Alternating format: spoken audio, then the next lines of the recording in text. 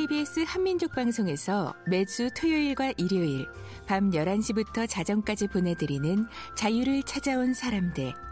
최윤경 아나운서의 진행으로 듣고 계십니다. 이번에는 곽재현 리포터가 전하는 현장의 소리 자유를 찾아온 사람들 현장 보내드립니다.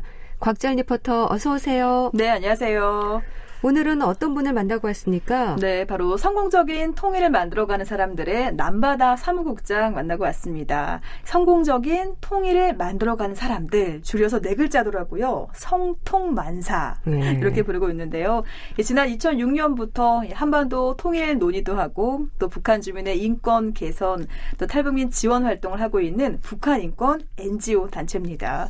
이 단체에서 이번 달 초에요. 이 온라인으로 모의 유엔 대회를 열었습니다. 있습니다. 네. 이 주제를 보면은 성공적인 한반도 통일과 북한 주민 인권 이렇게 붙였습니다. 지난 2012년부터 유엔 경제사회 이사회에서 협의 지위를 부여받아서 다양한 북한 인권 보고서를 정기적으로 제출하고 있습니다. 이렇게 2021년 언택트 시대에 맞게 온라인으로 모의 유엔 대회를 연 겁니다. 자세한 소개는 성통만사 남바다 사무국장에게 들어보겠습니다. 네, 모의 유엔 대회인데요. 전 세계 학생들이 유엔 회의를 개최하는 형식으로 모의 토의 회의를 진행하는 거고요. 한국 학생들한테는 좀 생소할 수도 있고 탈북민들 같은 경우는 참여를 거의 한 적이 없는데요. 모의 유엔은 유엔에서 진행되는 토의 형식을 빌어와서 학생들이 다양한 주제를 가지고 국제 문제를 토의하는 대회입니다. 이번 토의 주제는 크게 두 가지였는데요. 북한의 인권 개선 그리고 남북한의 평화적인 통일 논의를 지지하는 토일 주제를 가지고 어, 모의유엔을 개최를 했는데 전 세계적으로 모의유엔 대회가 굉장히 많이 있습니다. 국제학교 학생들이나 토의 전문으로 하는 클럽 학생들은 많이 참여를 하는데요. 다양한 주제로 논의를 하고 있는데요. 저희처럼 북한 인권 그리고 통일 관련 주제로 전문으로 해서 진행하는 모의유엔은 이번 행사가 저희가 처음이었고 앞으로도 유일하지 않을까 싶습니다. 네. 북한 주민 인권과 한반도 통일에 관련된 내용을 논의했는데요. 네.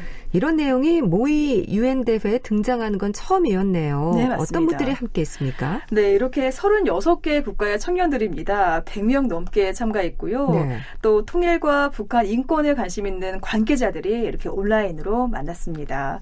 최종 심사를 통과한 세계 청년들은 이렇게 한국어가 아닌 당연히 영어로 소통을 했고요. 이렇게 한반도의 통일 그리고 북한 인권에 대해서 아주 깊이 있게 논의했습니다.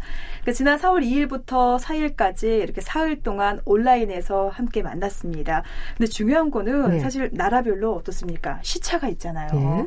네, 그렇다 보니까 이 아시아, 유럽, 아메리카의 시간대를 고려해서 오후 7시부터 새벽까지 이렇게 매일 함께 만났습니다. 또 아시아 청년들에게는 어떻게 보면은 늦은 시간이었고 네. 또이 아메리카에 있는 청년들에게는 이른 시간이었어요.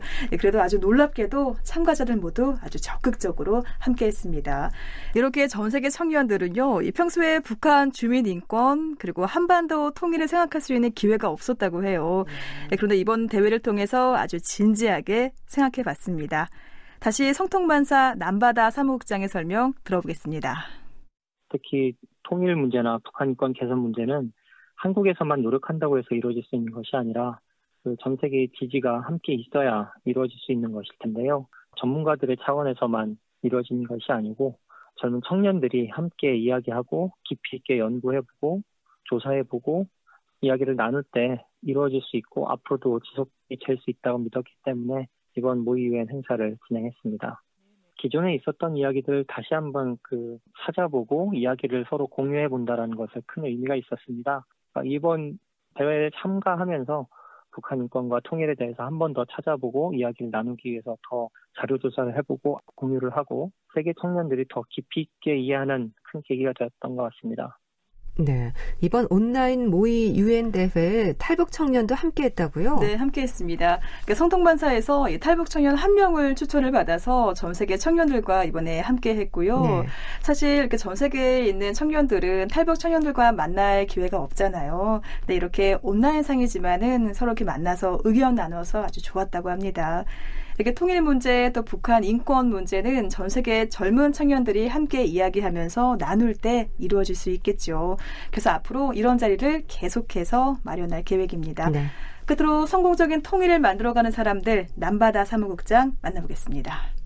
저희가 모의 유엔을 하면서 북한 인권이나 통일 관련돼서 혹은 유엔 시스템에 대해서 깊이 있는 전문가들의 그 강연을 저희가 또 만들어서 제공을 했었거든요. 이런 것들을 보면서 국제 정치나 국제기구에서 일하는 것을 꿈꾸고 있던 청년들이 한반도 평화 프로세서라던가 어, 북한 인권 개선이라던가 이런 우리의 문제에 있어서 좀 더 지지하는 역할을 해주게 된다면 단기간의 효과가 아니라 장기적으로 한반도의 평화 정착에 기여하는 청년들이 세계 청년들이 되지 않을까 기대를 하고 있고요. 어, 이번에 탈북민 참가자를 한 명 섭외를 해서 모든 위원회 회의에 같이 참여를 했었어요. 다른 청년들하고 같이 이야기도 하고 질의응답도 하고 본인의 이야기를 나누고 하는 시간을 가졌는데 탈북민과의 이야기 부분이 굉장히 인상에 남았다고 굉장히 좋았다고 하는 이야기들이 많았어요. 온라인을 통해서라지만 직접 질의응답도 하고 교류를 할 수 있는 기회를 제공해 준 것에 대해서 큰 의미가 있었다고 봅니다. 네. 자유를 찾아온 사람들 현장 곽지열 리포터가 북한 인권 NGO 단체인 성공적인 통일을 만들어가는 사람들에서 진행한 온라인 모의 유엔 대회 소식 전해드렸습니다. 곽지열 리포터 오늘 준비한 소식 잘 들었습니다. 네, 고맙습니다.